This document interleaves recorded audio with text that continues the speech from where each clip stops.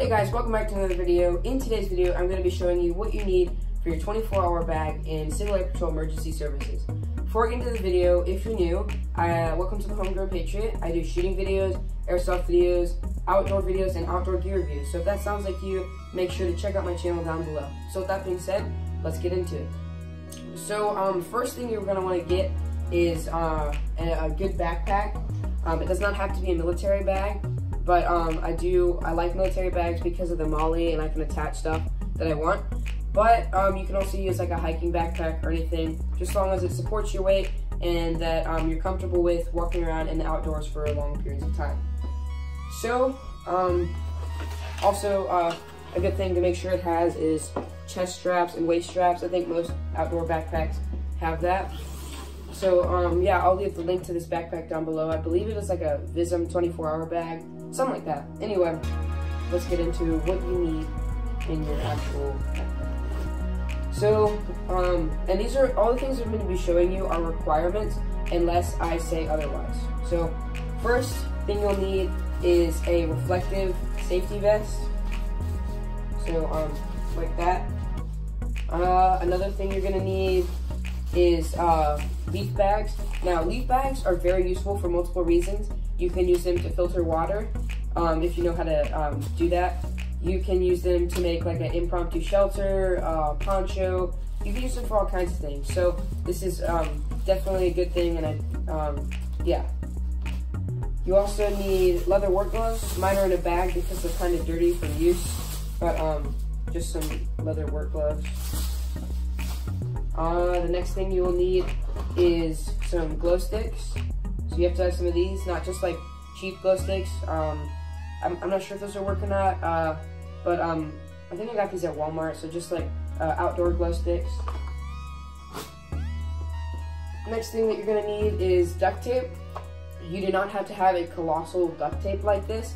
Uh, my dad had this at work and he gave it to me, so it was free, saved me money. Um, and that's one thing, you don't wanna um, go crazy spending your money or your parents' money. You just want to get what you need at uh, a good price. So don't waste money, but also don't get like horrible stuff, you know. So in between there. Anyway, um, gonna duct tape. Next up is a shelter.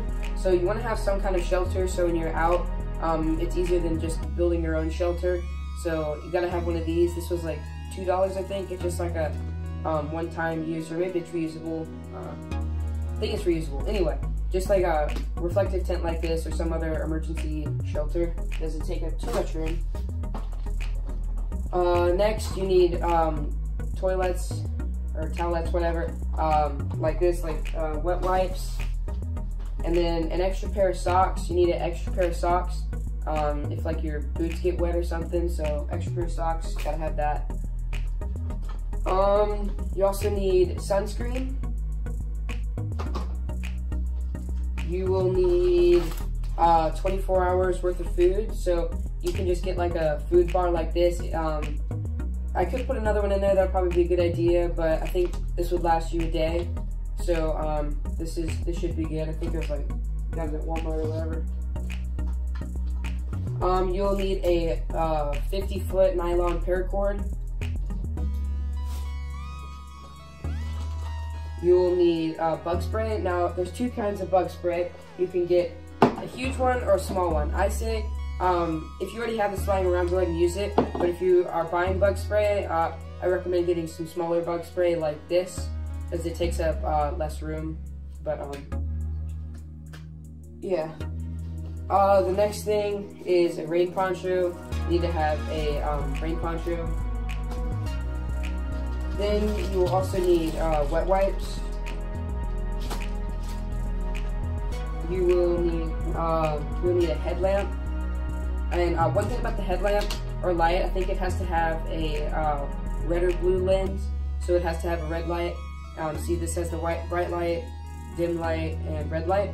The reason the red light is important is for at nighttime, the um, red light uh, cuts down uh, on, so like to um, just to explain this, uh, if you shine somebody in the eye with a really bright light at night, um, it can damage your ability to see well at night. I think it takes like 45 minutes for your eyes to adjust all the way back, so that's why it's important to have a um, red light on your uh, light. So that's a requirement. It has to have a red or blue light. I think red's easier to find, but um, uh, the obvious thing, first aid kit, gotta have one of these.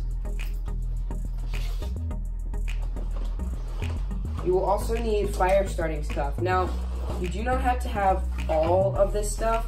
This is like from my bug out bag, and um, I just have all this stuff. I think you just need a box of waterproof matches or something like that.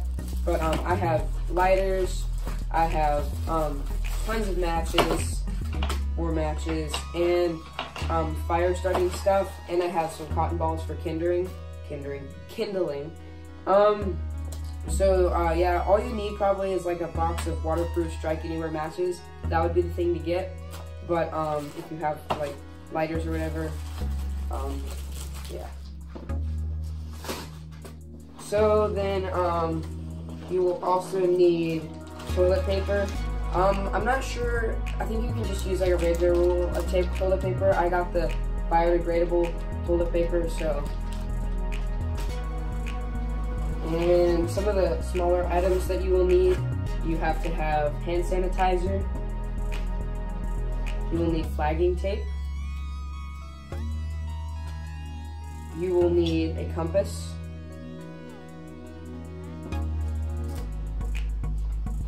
You will need extra batteries for your flashlight. You will need a signaling mirror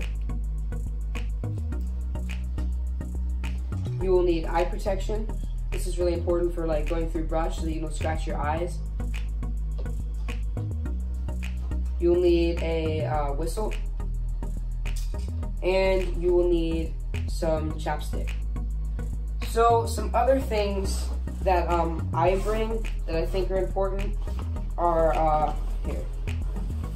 I, I bring uh, a water purifier. I do not believe it's on the list for the 24 hour pack, uh, at least it's not for me, but um, I definitely think it's important to bring some kind of water filtration system, whether it be a LifeStraw or it be um, iodine pills, whatever you need to uh, bring. Um, I definitely recommend bringing some kind of water purifier. Something else that I bring with me is this little uh, survival light. It is a, uh, let's see, what's it? It is a flashlight as well as a lantern, and it is um, solar powered, so you can uh, do that, or it also can be charged by um, a phone charger. So that's something else that I bring with me. Um, and then some things you cannot bring. Cannot bring hatchets. Hatchets are not allowed. And um, you cannot bring uh, saws. So you are allowed to bring knives, like uh, this knife right here. This is the, uh, the knife that I carry with me pretty much everywhere. But I think the rule with knives is like the, the blade can't exceed 6 inches and the knife itself can't exceed 12 inches. Um, I'm pretty sure of that. Also, some, uh, some personal items you'll want to have on you. You'll want to have your um, complete CAP uniform, um, your appropriate CAP identification, like um, any forms, your CAP ID, uh, appropriate clothing for the climate or weather. So if it's raining, rain poncho uh, stuff, that was on the list anyway, but like rain jacket, whatever. If it's cold, you know, jacket, anything like that. Um, and you'll, uh, I think that's pretty much it for your person. Anything else you think you need, of course, you want to bring some water. Anyways, guys, thanks for watching. Um, if you have any questions, comments, or anything, you can put those down below, and I'll try and get to that. So um, thank you for watching again, and I'll see you next time.